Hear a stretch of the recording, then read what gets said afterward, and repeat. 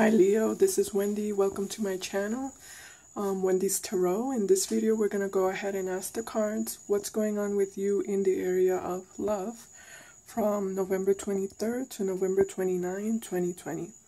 I've already shuffled the deck. We can just go ahead and get started. I'm going to pick two cards for you and two cards for whoever you're dealing with in love. So let's get started here. First card we have is the card of the lovers and we have the Ace of Wands. So, Leo, very passionate energy here, extremely passionate energy. Um, the lovers, there might be someone that you're feeling a very strong, intense, um, karmic soul, soulmate connection with, um, a fiery connection with, because the Ace of Wands is fire and passion.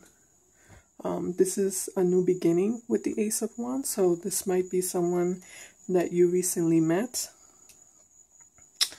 or someone that you are rekindling a, a previous fire with, you know. Um, it can be someone that you already know that you were already in some sort of connection with, um, and but you got uh, you were out of touch with this person and you recently met again and you are rekindling that passion that you had with them. So that's going to be for some of you.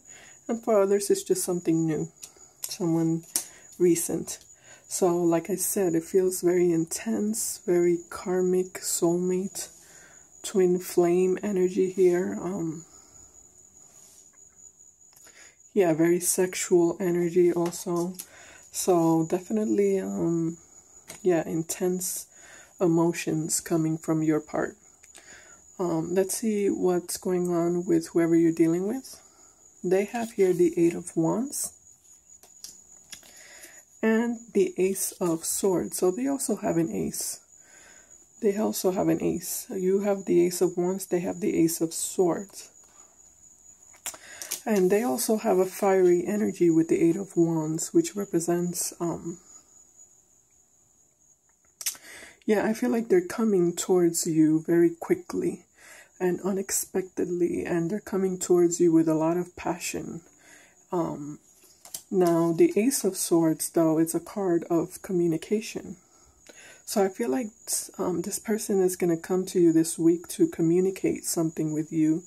Um, that um, it's like they can't they can't hold it back anymore with the Eight of Wands. It's like there's something that they have to get off their chest. Um, there's something that they have to um, tell you and let you know, like once and for all, because I feel like it's something that they've been holding um, and they've been um, reserving. Um, but this week, it's like um, you're finally gonna get the message that they've been wanting to tell you for for a while, um, for quite some time. Let's see if we can have another card to see if there's more clarification here. We have the card of strength. So this is the card of Leo. This is your energy. So yeah, they're coming to communicate with you, with with Leo. And again, this is a card of passion um, and intense. So both of you are feeling very intense emotions. Um,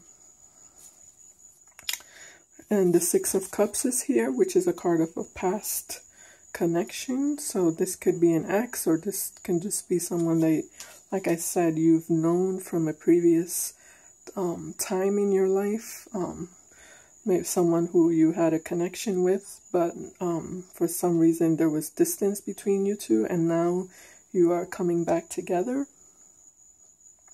So, for some of you, this person's going to be confessing to you that um, they've felt um, feelings for you for a long time and they never told you before, but this is the time now that they're going to come clean about it and confess about their passion and feelings of love for you. Next card here, we have a Queen of Cups. So I'm just picking out more cards to see exactly what it is that they're communicating. So that's what I'm seeing. I'm feeling I'm feeling like they're going to confess feelings that they've been having for a long time. Um, And like I said, I'm feeling like this is someone that you already know. So the good news is that you're definitely, um, I feel like you're definitely feeling the same thing for them. So I don't, I'm not sure that they know this. I don't, I don't know that they're aware that you also are feeling the same passion and you know, um, uh, soulmate connection with them. So it's something that's definitely gonna surprise them and that's going to make them happy. So again, this is a very specific message. It's not going to apply to everyone. It's not going to resonate with everyone. But if it did resonate, please give me a thumbs up and subscribe to my channel. I'd really appreciate it. And I'll see you next time. Bye, Leo.